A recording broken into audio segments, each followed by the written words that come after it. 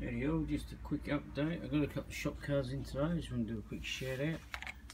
I reckon I've done this one before. wasn't too sure of Morris Customs. Cool car. Thanks, mate. And uh, I traded my car with Dylan over at MYS Modelling. Thanks, Dylan. I really dig those 32s in there, mate. Cool car. Thanks, brother. And uh, Charlie Mack gave me an update of the Model Works card. Some cool builds on there.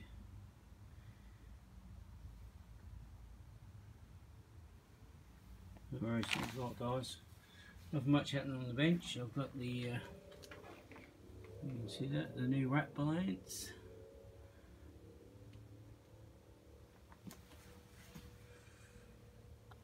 Getting there slowly. Got a bit more to do. No rust happening.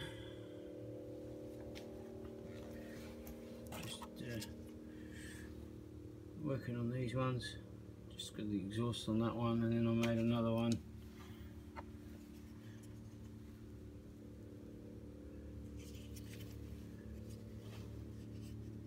Finger out the way.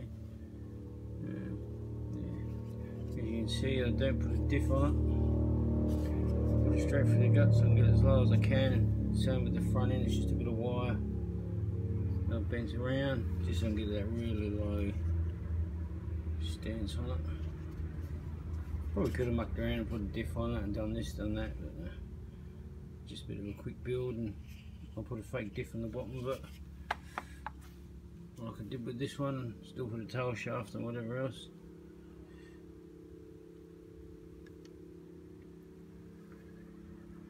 Isn't he sitting in the shed so yeah, they're nothing special.